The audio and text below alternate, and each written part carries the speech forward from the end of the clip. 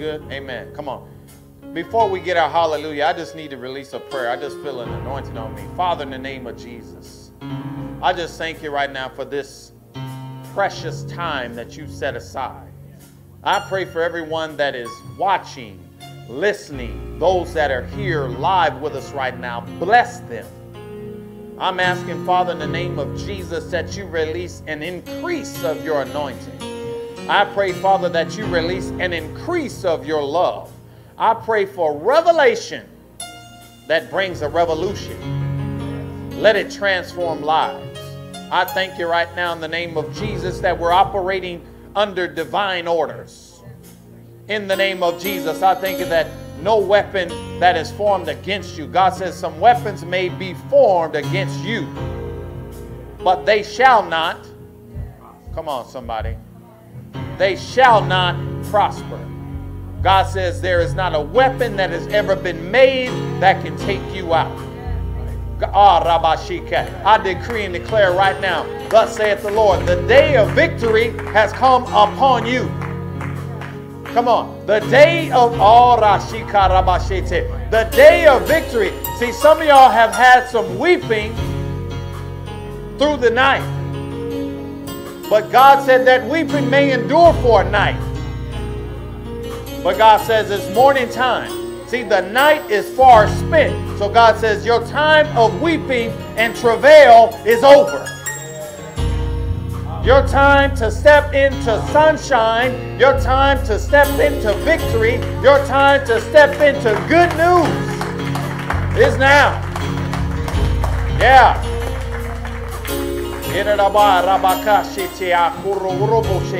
I, I'm telling you, I feel, I'm operating under the, the, the anointing of God, and I'm speaking this prophetically to somebody. Somebody better receive this. Revelation 3 8, he says, I know thy works. God says, I've seen you. See, I'm, you know what? A lot of times we spend our time pointing out the wrongs.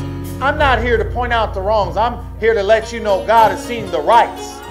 God has seen the right heart. Come on, somebody. God has seen the right intention. God has seen the right motivation. He says, I know your works. Behold, I have set before thee an open door. God says, You know what? Them doors that you thought were shut, I have opened them doors. You don't have to push them doors down. God says, I've opened them. I have opened doors. Why? Because I've seen your works. Come on. I've seen your faithfulness. Come on. I've seen you stay with me when everybody else gave up on me. I've seen you keep a positive mindset when everybody was trying to make you go negative. And God says, I've seen that. I, come on. I've seen that. And he says here, I have set before thee an open door. Look at your name and say, The door is open now. Okay. And no man, come on, church. Boy, we about to kick into some victory, man, that is going to get the attention of others. I'm talking about we about to kick into a, a victory gear. I mean, that's that's why God's had me getting you ready. Come on, getting you ready and getting you able to release this radical praise because we're about to shift this thing. We're about to step from trial to triumph. Oh, yeah. Come on. We're about to step from trial to triumph. Amen. Come on. Come on. Boy, God is doing this right now. And God says, you know what? I know, I know you. I know what your heart is about. God said, I know your heart more than you know your heart. And he says, I have set before thee an open door, and no man will shut it. Then he says, For thou hast had a little strength. Come on, man. I mean, on a Wednesday night. I mean, if you ever been like, if you've gone through a weary period in your life, I just need you to stretch your hands to heaven because I believe this is for you. I mean, maybe you're in here or you're at home, but you've gone through a weary period. I mean, you felt like, oh man, you just almost ran out of all of your strength. I thank you, Lord. And God says, for you, you had a little strength. Yeah. Come on. Some of y'all felt like giving up. Come on. The devil tried to wear you out. He tried to cause you to just give up hope and just quit on the whole thing. But then God says, I've seen you. So you had a little strength. But he said, see, ah, oh, what'd you do with the strength you had? The little bit of strength you had, what'd you do? You kept his word. Come on, somebody. It might have been one scripture. Come on. It might have been two scriptures. Come on, somebody. It might have been a gospel song. It was something that you was hanging on to and you refused to let that thing go. God says it right here. He says, You had a little strength and has kept my word and has not, huh? Look at your name and say, I never turned on Jesus.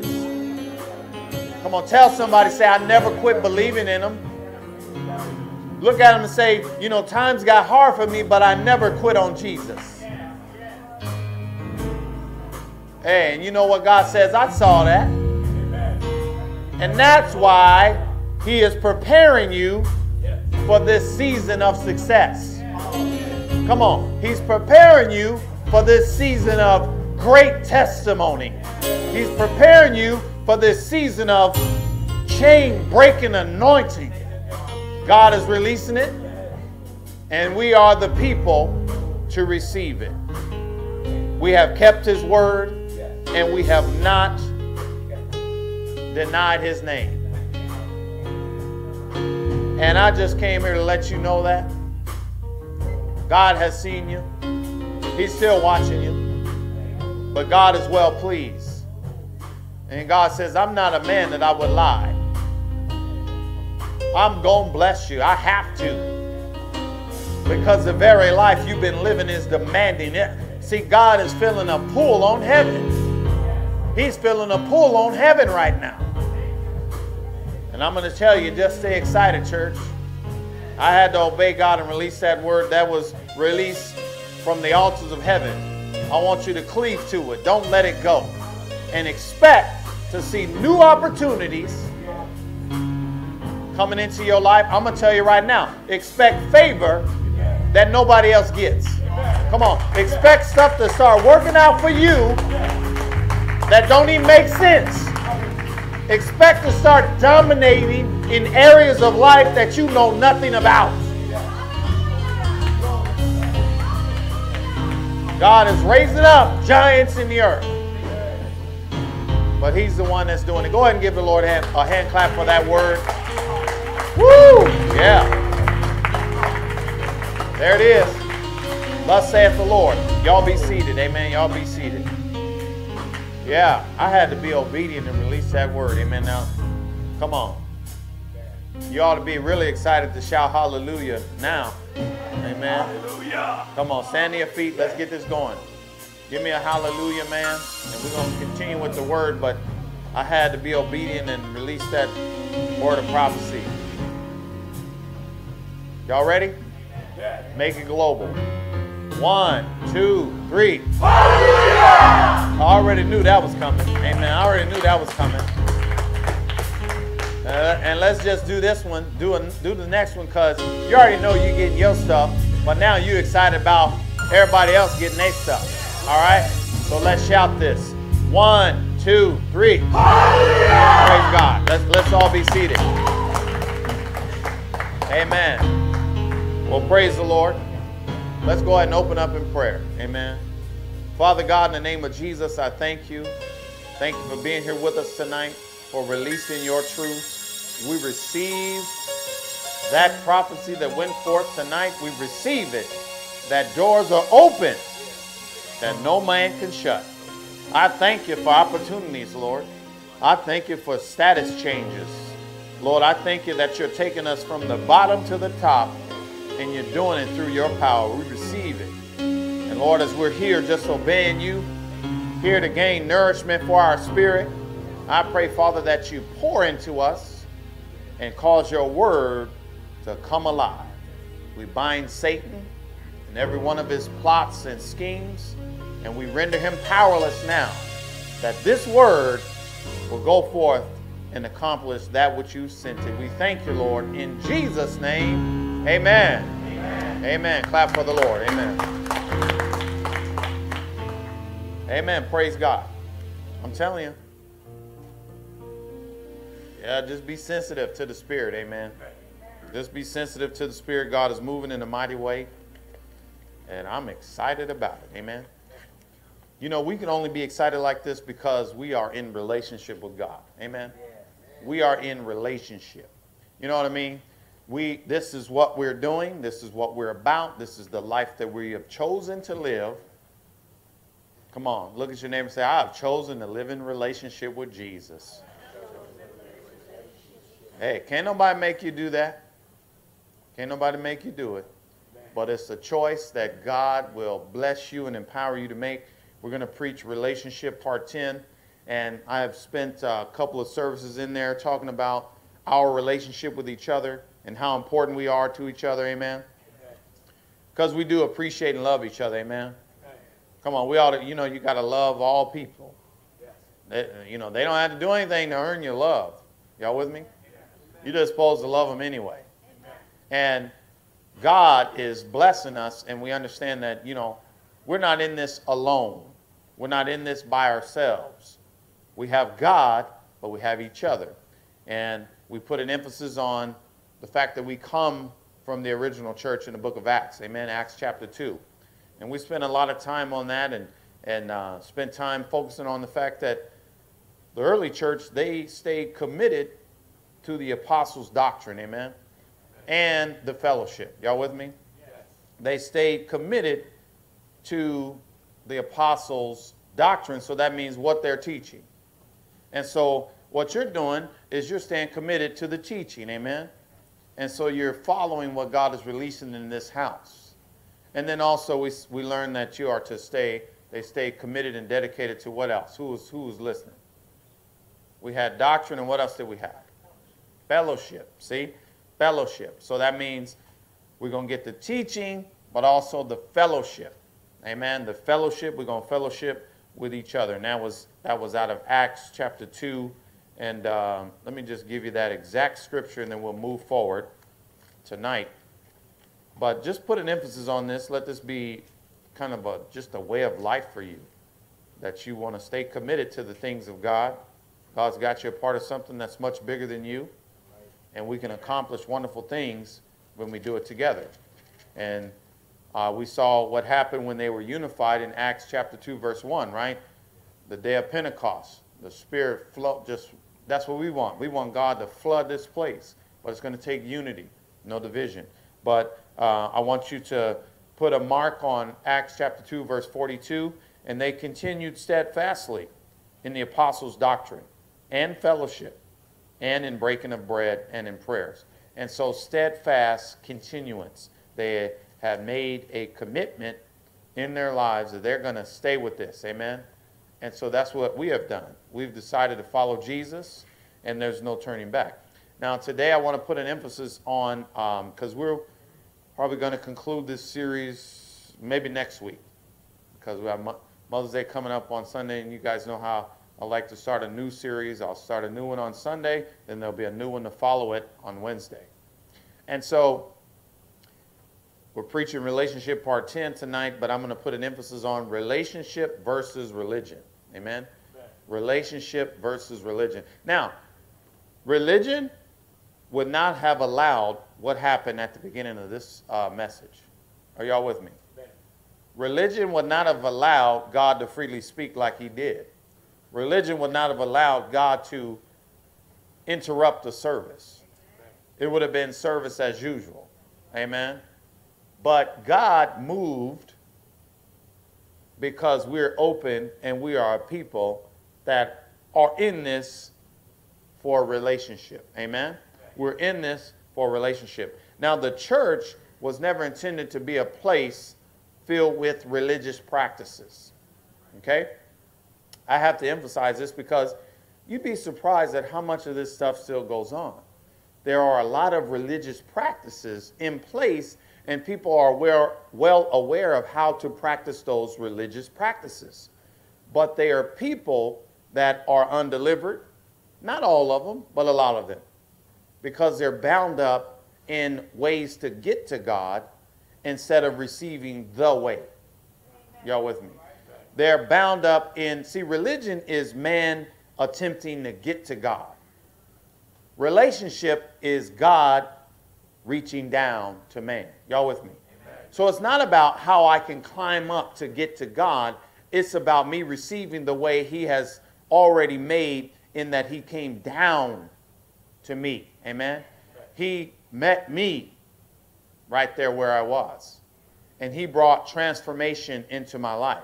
Now, religion will teach me some things. Some of the things that I can learn in religion are good. But relationship will deliver me. Amen. Amen. Relationship will deliver me and put me in that free place. That free place to where I'll never be bound again.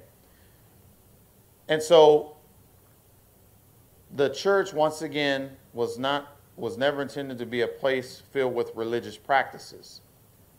The church is supposed to be a place where the captives go free. Do you know that? Did you know that that's what the church is supposed to be? I'm talking about it's supposed to be a place where you come in here with all kind of bondage. It's supposed to be a place where you come in here with bondage on the left, bondage on the right, bondage on your mind, bondage everywhere. It's supposed to be a place yes. where you come in with that, but then what happens? You meet Jesus. Come on. Because if you don't meet Jesus, if you don't meet Jesus, then what will happen is you will learn how to disguise your bondage. Come on, I'm just, just telling the truth.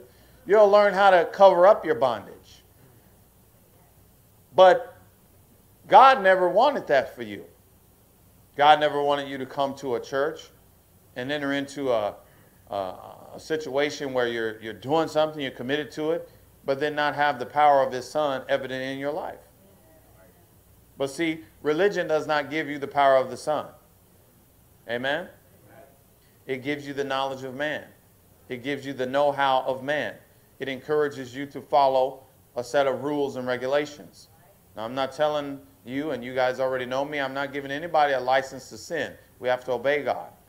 But what I am saying is, you obeying God is going to be a result of Him coming alive in you.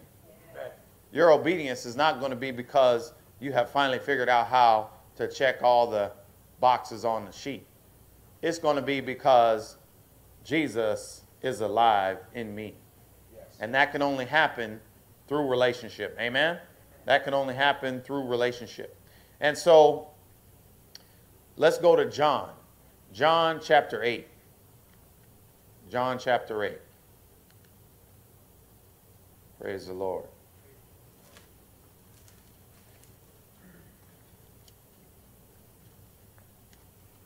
You guys hear something? sound normal? Everything? We good? Sound good? Okay, good. Huh?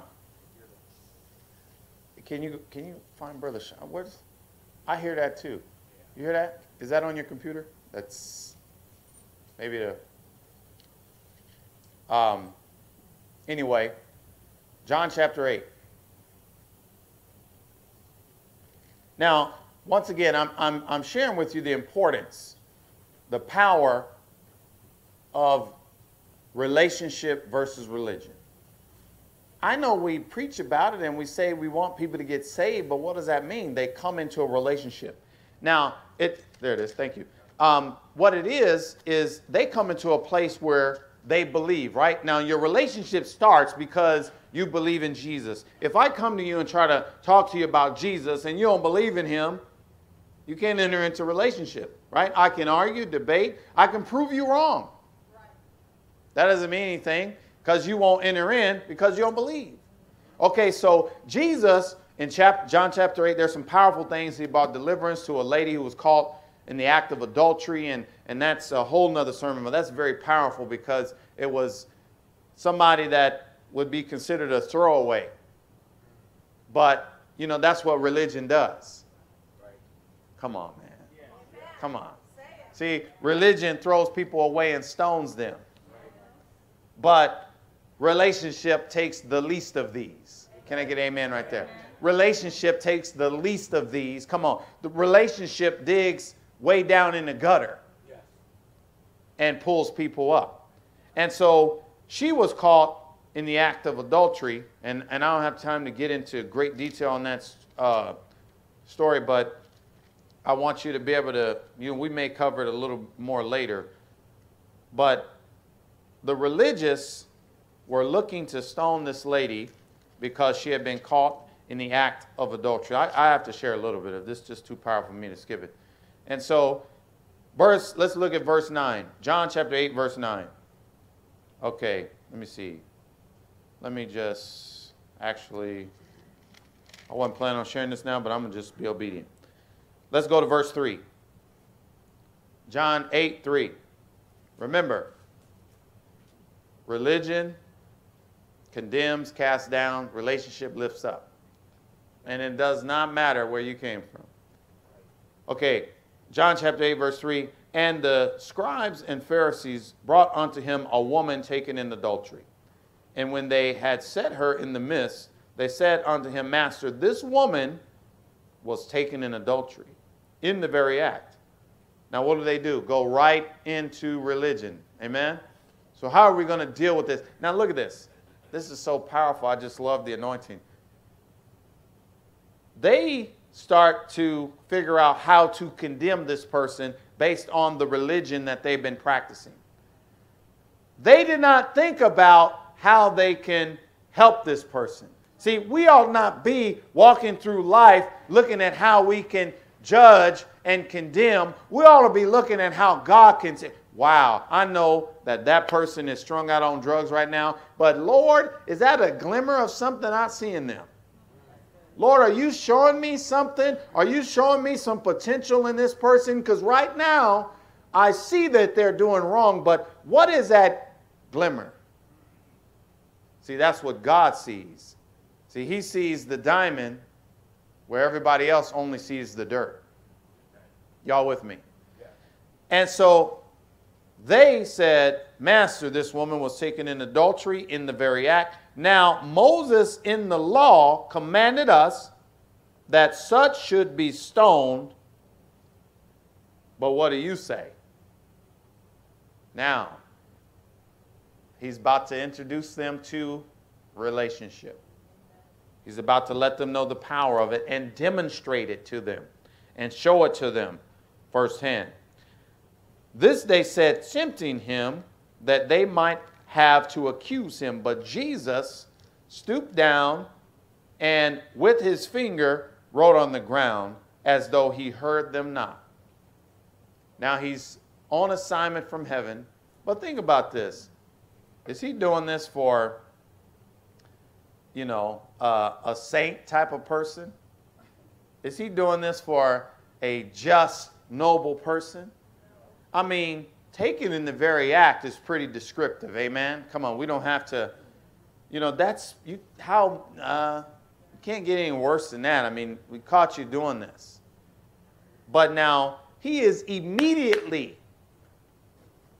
Come on, he'll be a defense for those who can't defend themselves. Come on. He'll be a shield for the otherwise unprotected. Can I get amen up in here? Come on. He is not looking for those that can figure it out themselves. And he's not looking for those who are looking for other people. Come on, I mean, know these religious people were not about to help this lady. So they couldn't even school her and train her up. They were just, you're wrong. It's time to throw you away. But God said, I'm going to defend this person. So Jesus steps in and starts writing on the ground. And he is defending this lady. And then he says here, so they continued asking him. He lifted him up himself and said unto them, He that is without sin among you, let him first cast a stone at her. Amen. He'll be a defense for those who are otherwise defenseless. Amen. And again, he stooped down and wrote on the ground. And they which heard it, being convicted by their own conscience, went out one by one. See, all we need, Jesus will shut down some religion. Amen. I mean, he'll shut you down. Amen. Because if you're trying to do something and you're not in relationship, all we need is Jesus to show up on you. Come on, you want to take care of hypocrisy? Just pray for Jesus to show up. Because those that are pointing the finger, glory to God, if Jesus shows up, he'll, real, he'll give them revelation of the other three fingers that are pointing right at them. And he'll tell them, you know what, you're pointing out their stuff, but what about yours?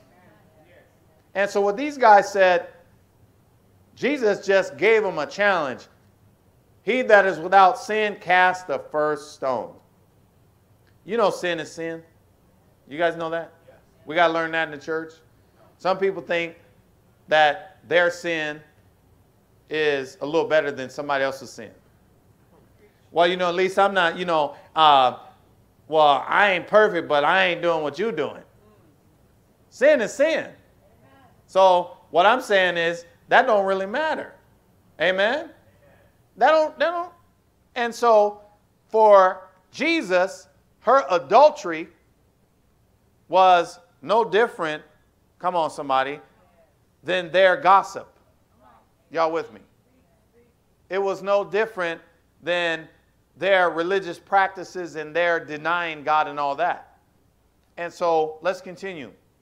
And they which heard it, being convicted by their own conscience, went out one by one, beginning at the eldest. he probably, the eldest went first because he was probably like, man, I got way more, woo, I got a long list of sin. I'm up out of here, man. You know, sometimes those, them, your biggest sinners are the ones that been in church the longest because they didn't learn enough religious stuff to cover it up. Amen? And so they went out and even unto the last, and Jesus was left alone, and the woman standing in the midst. When Jesus had lifted up himself and saw none but the woman, he said unto her, Woman, where are those thine accusers? Hath no man condemned thee? She said, No man, Lord. And Jesus said unto her, Neither what? See, what he is doing is he is now introducing her to relationship. He's introducing her to deliverance. You know, we don't get people delivered by condemning them. Amen. That's not our job. Our job, come on, somebody, is to introduce them to the, deliver, the deliverer. And so, what did he say? He says, All of the accusers, I took care of them. There is no man to con- condemn you. But then he says, Neither do I condemn thee.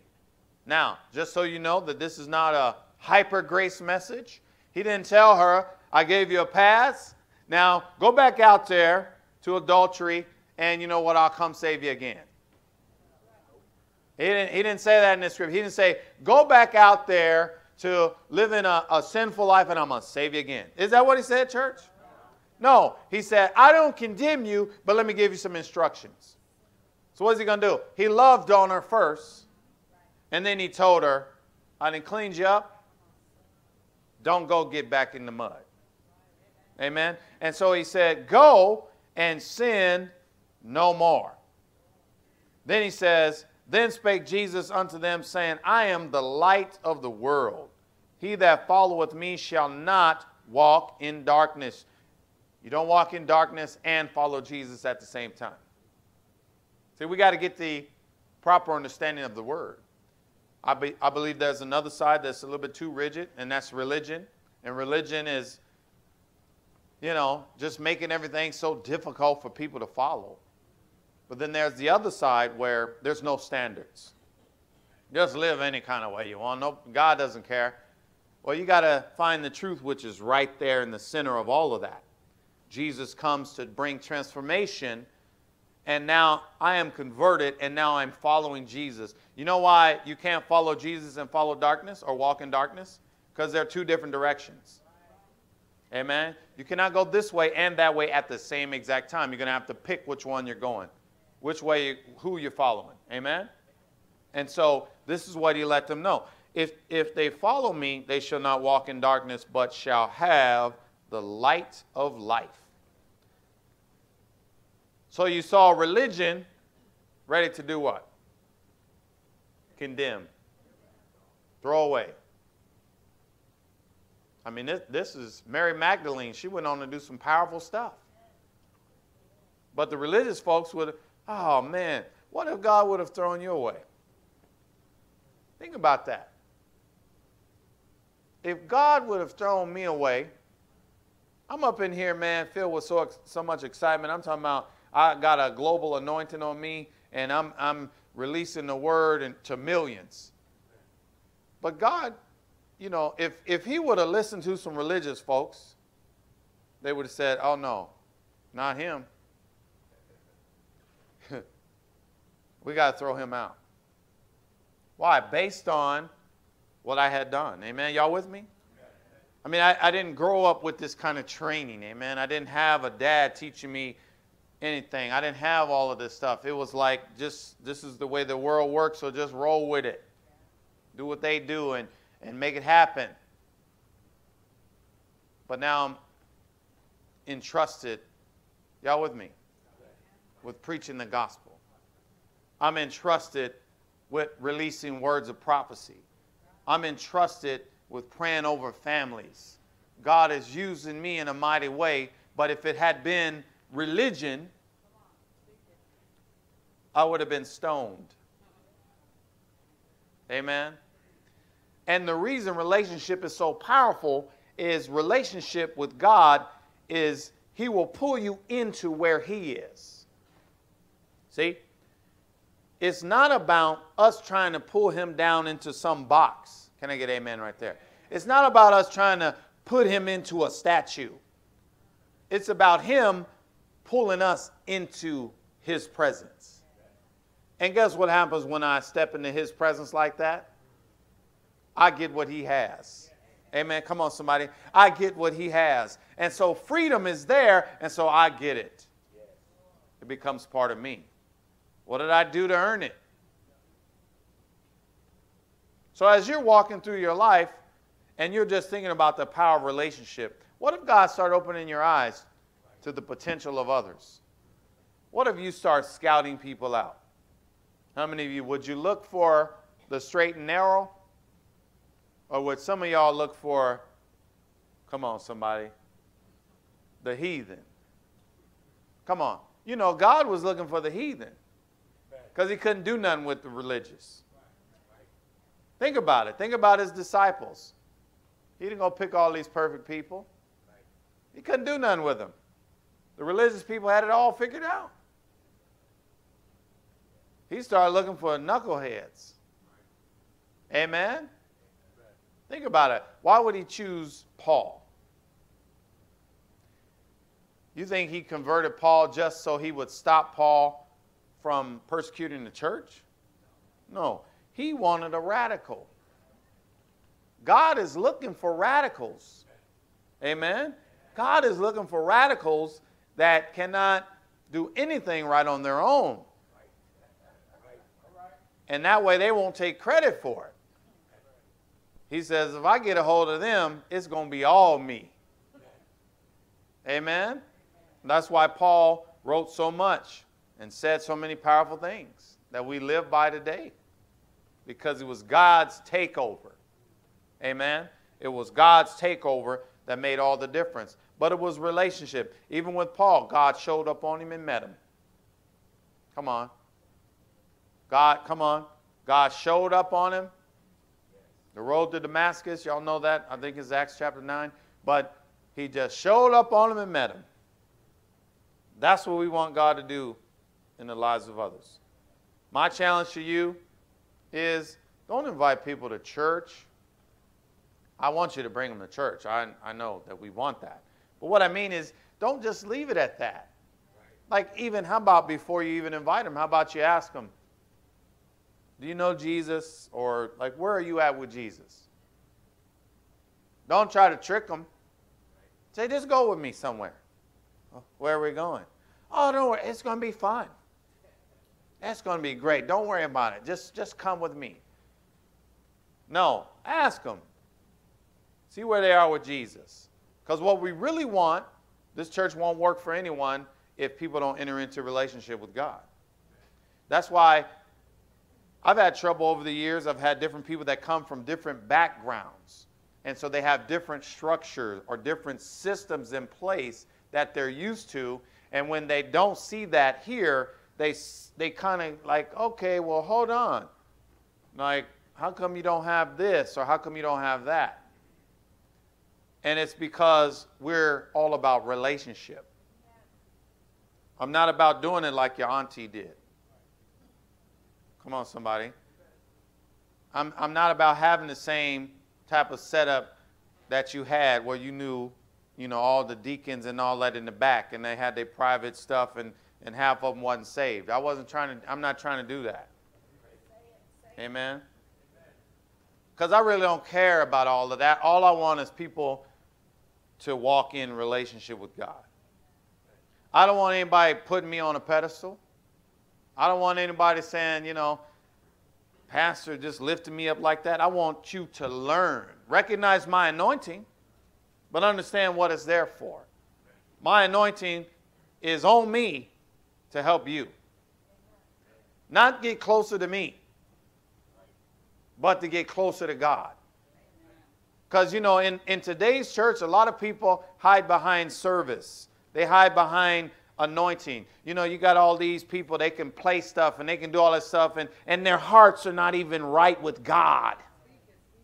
And they're in pain and they're, they're in their suffering and they won't tell nobody because they got to hurry up and get to their post. They got to hurry up and serve again. And so what happens is when you fall into this, now you become a robot. And you go through life with a regimen and a routine. And you know how to da da da da da. Oh, service is going to build right here, right now? Okay, I'll take it back down. And, uh, and you get right there in that flow. And you miss what God is doing. And then people also start to promote and elevate others.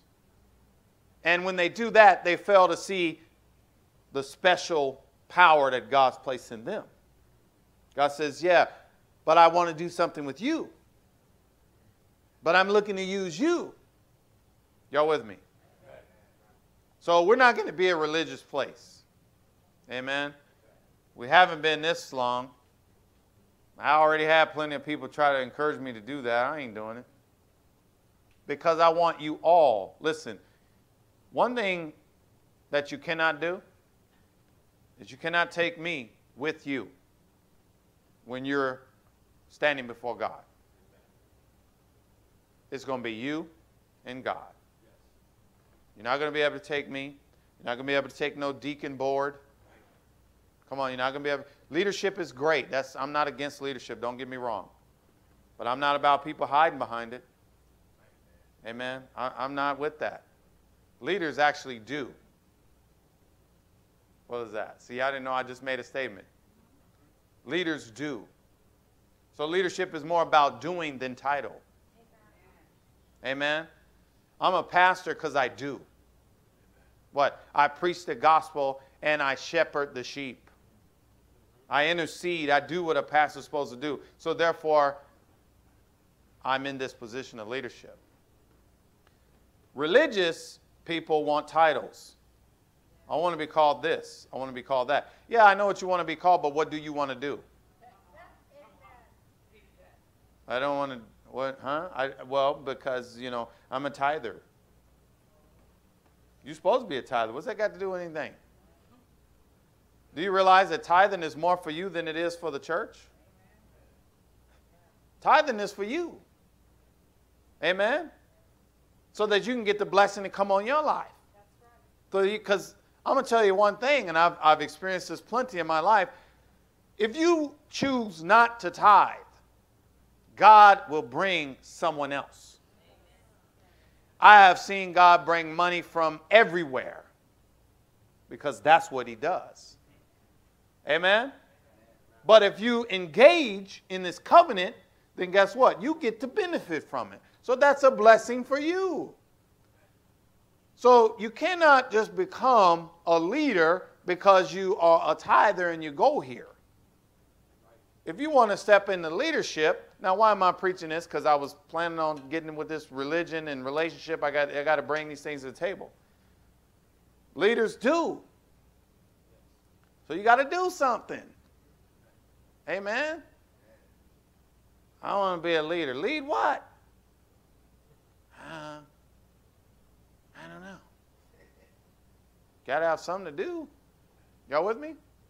Okay, so let me continue. Now, if my relationship with Jesus is right, then I'm going to, come on, do the right thing, be the good example, live the right way, do what I'm supposed to do, take care of my duties, my leadership responsibilities. I'm going to do all that because I'm in right standing with God. Amen? So let me continue. Verse 31, John 8 31.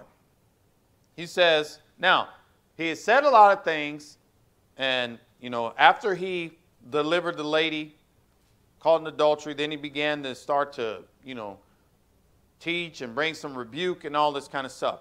Now, whenever the truth is coming forth, there are going to be a lot of people that don't want to hear it but then there will be some that do.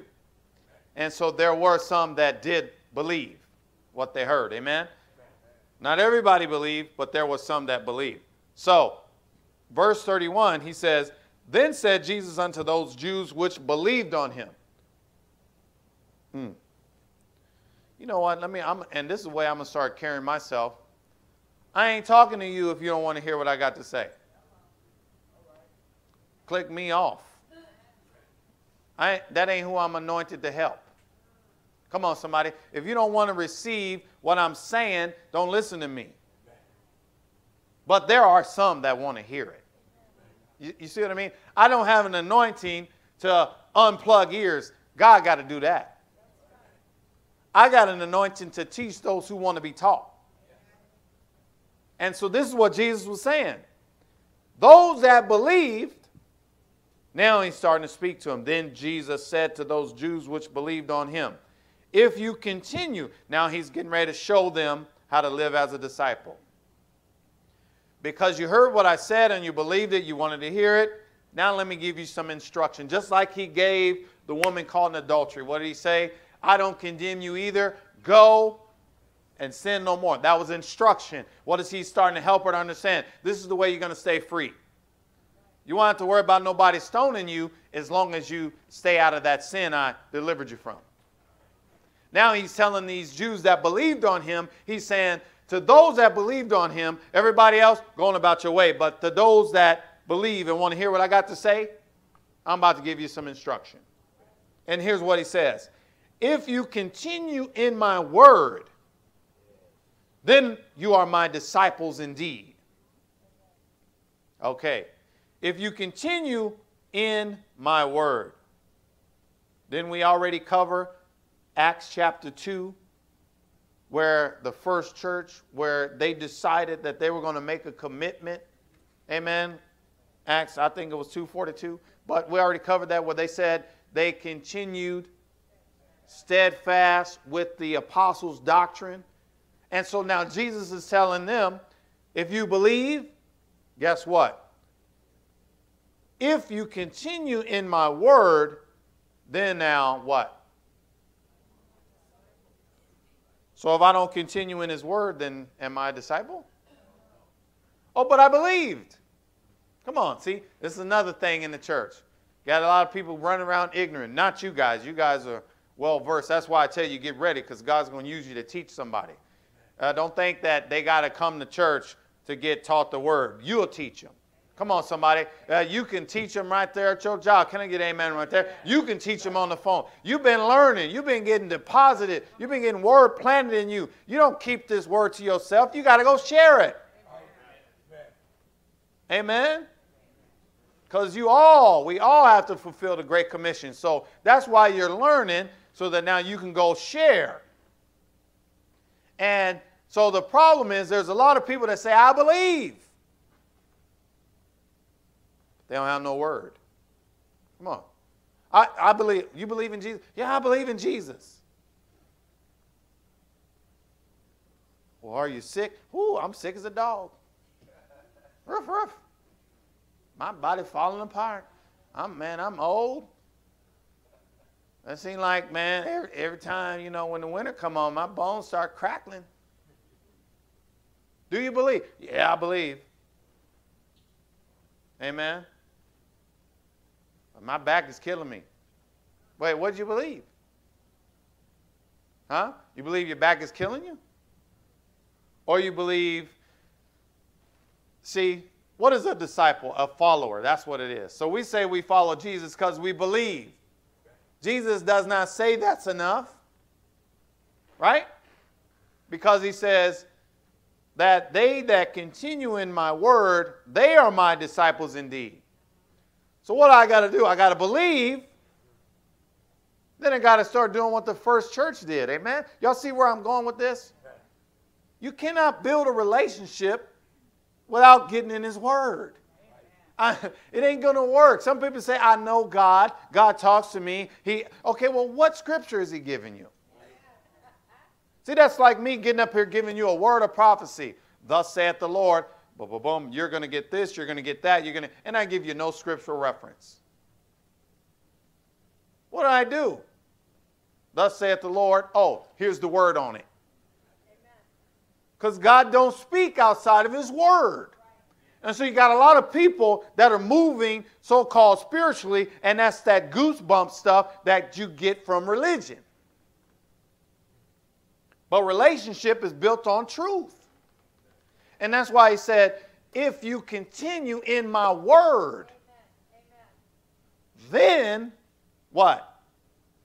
You're my disciple indeed. So what does that mean? You're a follower of me. So you went from believing to becoming a disciple. Y'all with me? You went from believing. So you don't, you don't become a disciple the first day you get saved because you don't know anything. You just believe. You become a disciple when you go home and you say, you know what? They told me to read the book of John first.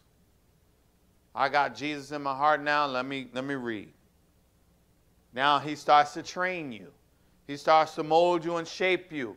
He starts to, what? By the word. But yet, a lot of churches spend so much time on other things and people don't know their Bible. So, what happens? They have disguised bondage. Because I'm just reading this to you. He says, If you continue in my word, then are you my disciples indeed. And then he says, And you shall know the truth How are we going to get them off of drugs? The truth. Come on. How you going to get them to stop cussing? See? The truth. I mean, this works for everything. It'll get people out of debt. It'll get their bodies healed. It'll do everything. But without the truth, what do we have? Sunday freedom. Wednesday freedom. We got radical praise on Sunday, hallelujah, but we got moaning and groaning and weeping on Tuesday. We got I'm standing high on the mountaintop on Sunday, and you're underneath the house on Monday. Amen. See, that it does me no good for us all to come in here and feel great and have a wonderful time and have a nice atmosphere, and then we go off our separate ways and we go back to bondage. And glory to God, I see you at the grocery store and you didn't know I saw you, and I wonder why you frowning so much. Yeah, Pastor, but you know, because I left my joy jacket in the car. I put that out. I normally only wear that on because some of y'all only wear your joy jacket on Sunday, even though you come on Wednesday. I'm just saying. You didn't even pull out that joy jacket on Wednesday. It's too late. You're tired. You're tired up in here, man. huh? I'm just, So if I know the truth, now how am I going to know the truth? I got to continue. I got to stand it. I got to stand His word, day in, day out. I got to stand His word. Uh, look at your neighbor and say, "You can't know God if you don't know His word."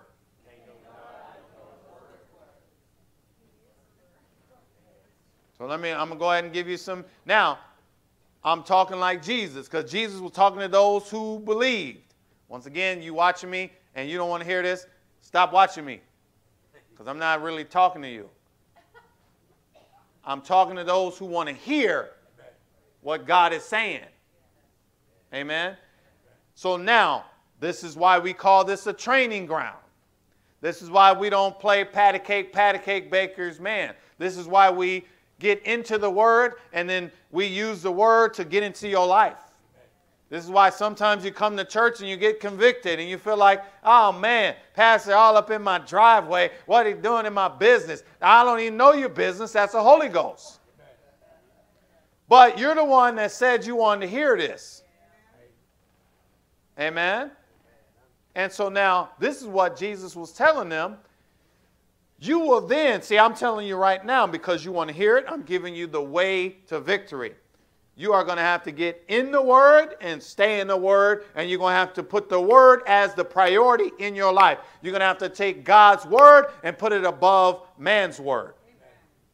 You're going to have to stop talking about your lack and start talking. Oh, come on, somebody. Because the Word says, uh, Psalm 34:10, the young lions who lack and suffer hunger, but they that seek the Lord shall not want any good thing. You're going to have to start speaking about God's prosperity over your poverty.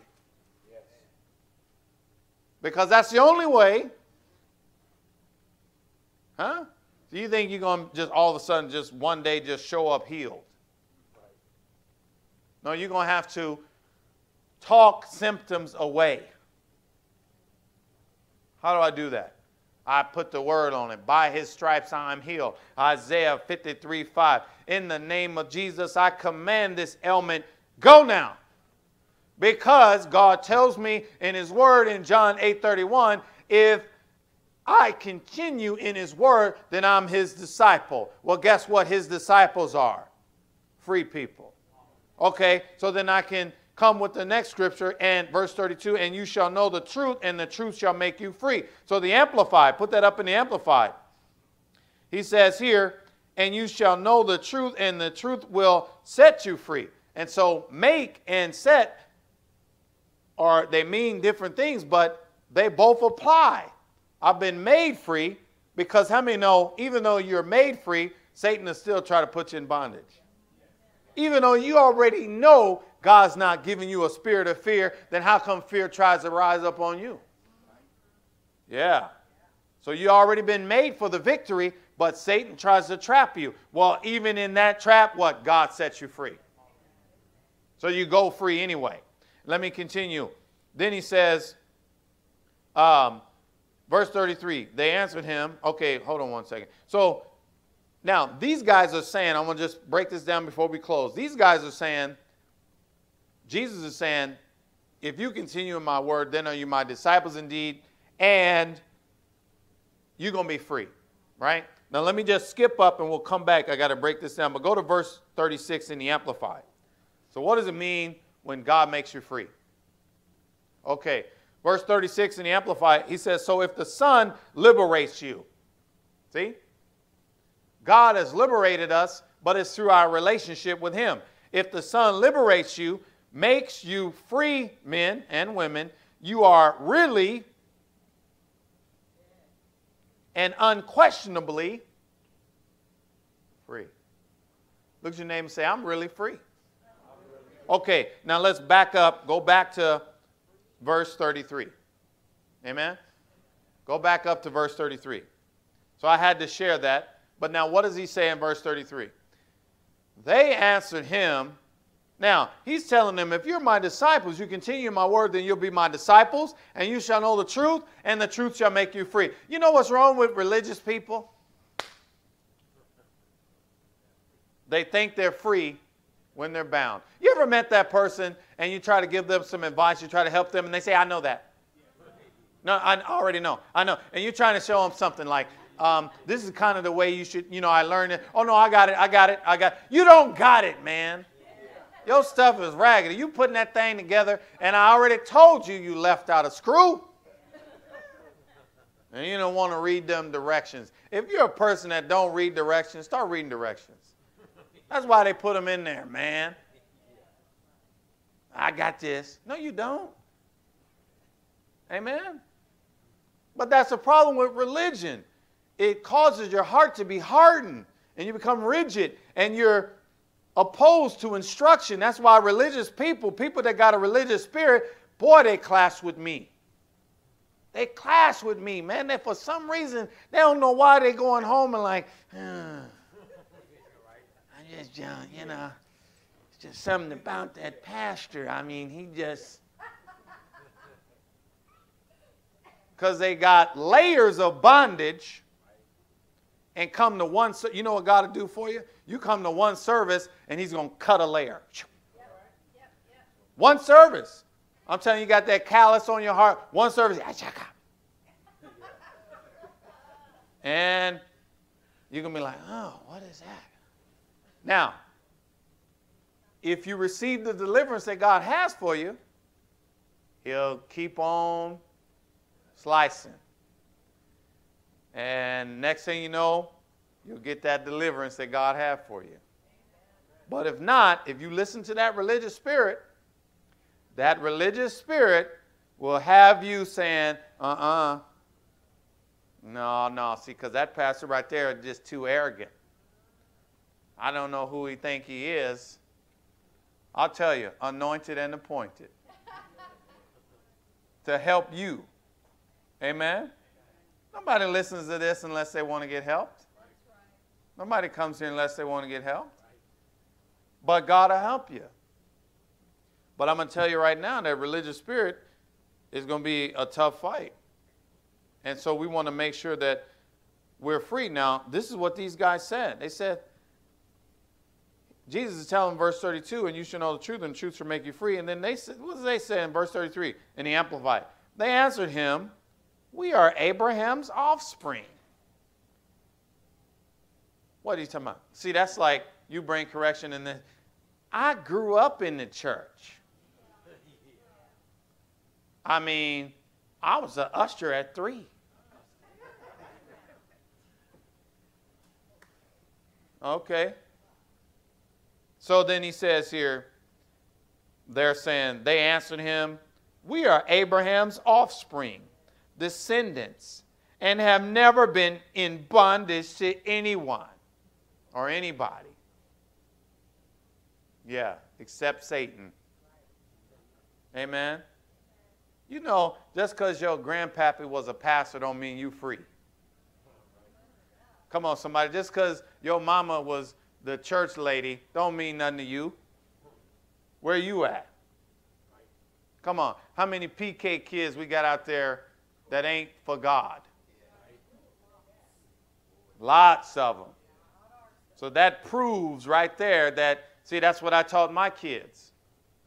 Yeah, I trained you up and taught you what to believe, but you're going to have to believe that on your own. You can get the, you can get God's power working in your life. You can experience favor and good things, but you're going to have to do that and make that decision for yourself. I trained them up so that they can, me and my wife trained them up so that they could make a decision.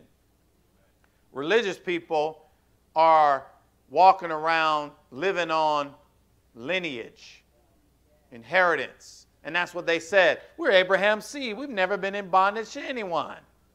Amen? And what we got to understand, and we will continue on this, I'm going to close in a minute, but we'll probably finish this up next time. But there, he's making it clear. He says here, What do you mean? But they're saying, What do you mean by saying you will be set free.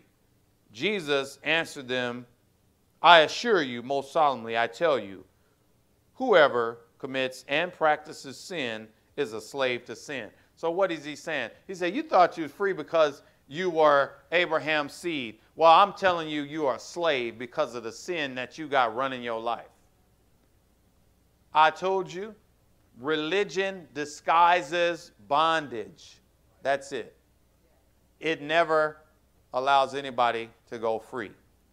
But if we are those people that desire to go further in God, now he says, verse 35, now a slave does not remain in a household permanently forever, the son of the house does remain. So what he's saying is, I got power. Now you're talking about your Abraham seed, but you haven't been introduced to this power. If everything was perfect with Abraham, God wouldn't have had to send Jesus. And that's what he's telling them. Then, verse 36, we'll close on this. So then he's telling them, You're not free unless you've been made free by the Son.